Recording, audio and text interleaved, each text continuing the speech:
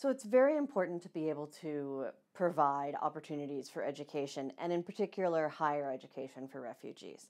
Um, there are a couple reasons for this. One is that you end up with a situation where an entire generation of young people hasn't had access to formal education.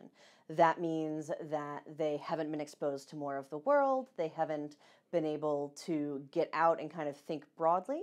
It also means that they're really poorly prepared for future careers, right? You end up with a whole group of people who have very limited abilities to integrate into societies where they live, engage in rebuilding if they get to go home again, or kind of become productive for themselves and for their family members it really has to be a multi stakeholder effort to make sure that refugees have access to education.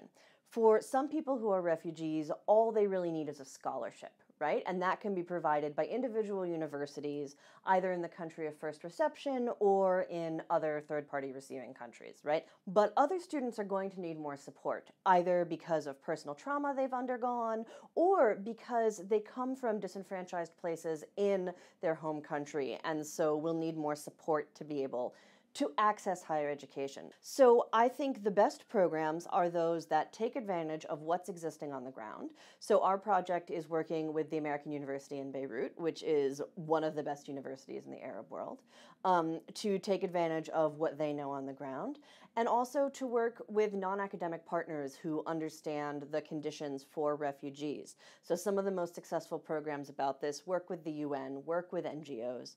Um, and we're following that model as well because you need to be able to get a whole picture of where your students are to be able to meet them there and bring them to where you want them to go education is essential to rebuilding because you can very easily end up with a system where the only people who've had access to education after a conflict are the children of the people who've been waging that conflict um, and the children of elites who were able to be sent to be educated abroad during the war.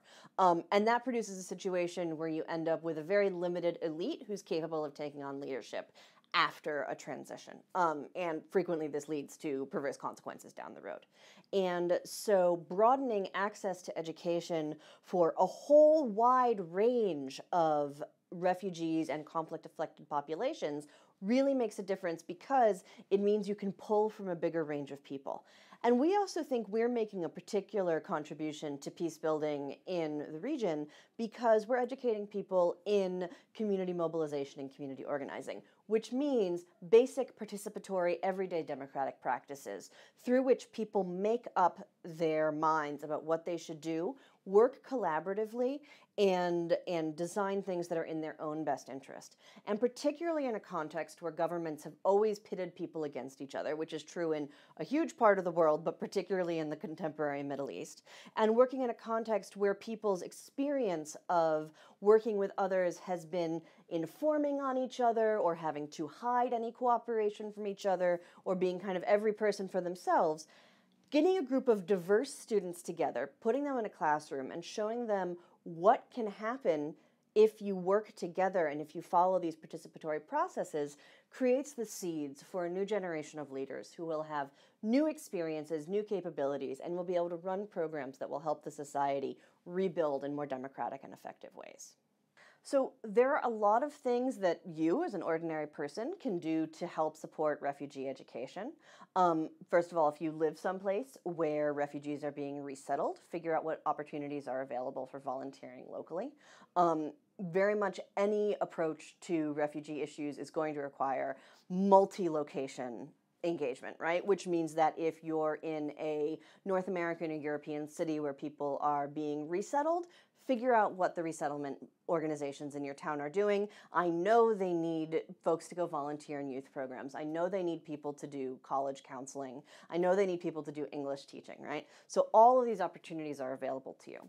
If you'd like to participate in something at more of a distance, so for instance, uh, there's an NGO, Jusoor, by a bunch of uh, Syrian expatriates that's helping connect uh, mentors to Syrian refugee students who are looking to go to undergraduate and graduate school in other countries, right? So if you wanted to act as a mentor to someone, that's an opportunity available to you. But then specifically our project, we need resources and we need support from people in terms of attention, sharing our issues, and of course, donations, right? Running a program like the one we're running is going to involve a huge commitment of staff, of time, and of funds to direct towards our students. So we would love volunteers, particularly for people located either in Beirut, elsewhere in Lebanon, or folks located here in Canada.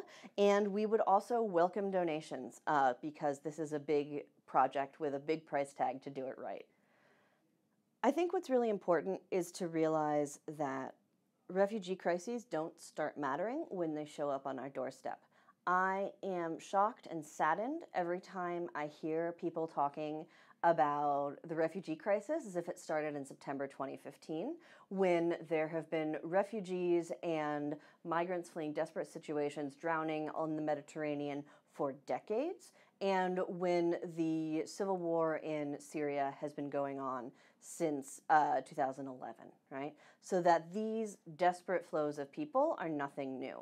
And I think we need to realize that those of us in the West who are just now getting wise to this issue, we're behind the curve, right? And we have a lot of catching up to do in order to meaningfully and justly address the situation of refugees.